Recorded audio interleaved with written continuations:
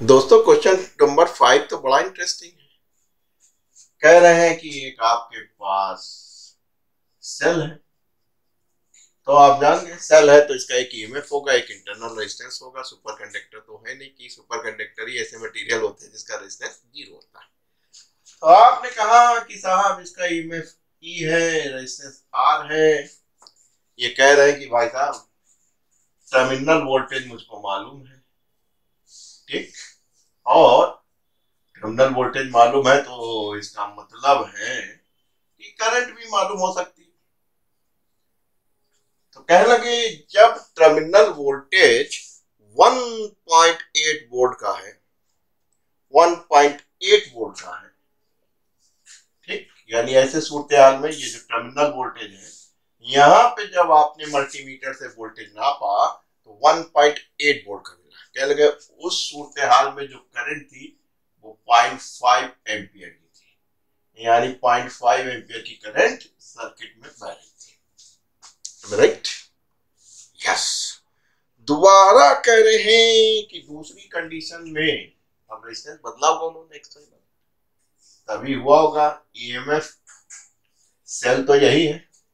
यानी ईएमएफ और R similar है।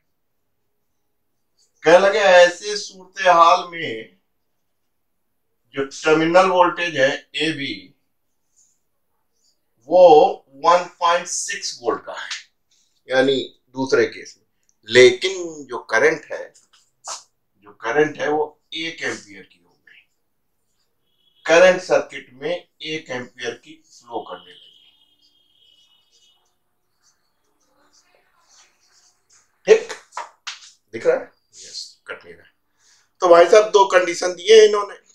कह लगे जब वोल्टेज टर्मिनल वोल्टेज 1.8 का था, तब करंट आधा एम्पियर यानी 0.5 एम्पियर की थी। और जब वोल्टेज आपका 1.6 वोल्ट का हुआ तो उस समय सर्किट में एक एम्पियर की करंट बह रही थी। धारा एक एम्पियर की बह रही थी। कहीं क्या बताना, कहीं साहब ई ओ आर ही बताना, यही अननोन दिख रहा कोई दिक्कत नहीं, दो अननोन तो दो इक्वेशन बन जाए लीनियर बन जाए तो क्या आपको एक ही फार्मूला आता है। उसी के सहारे आप चल दिए सवाल लगाने। बस ये ध्यान रखिएगा। क्या ध्यान रखिएगा? कब माइनस होता है और कब प्लस होता है।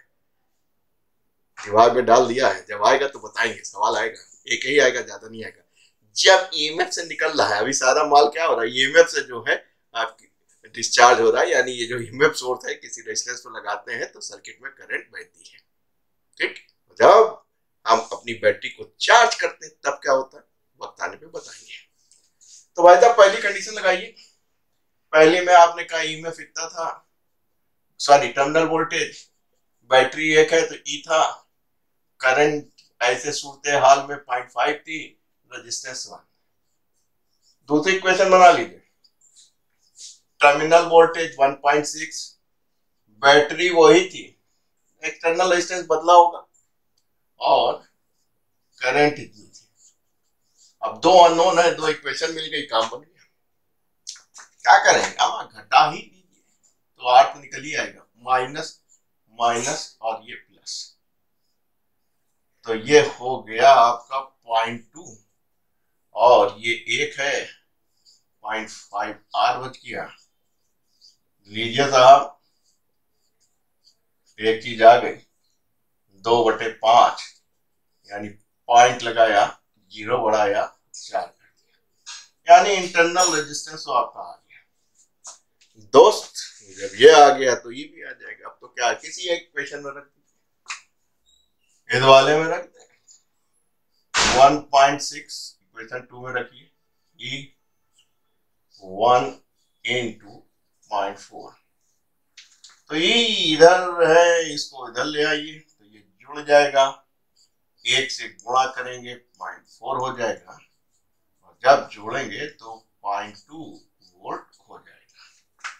छ चार दस। M right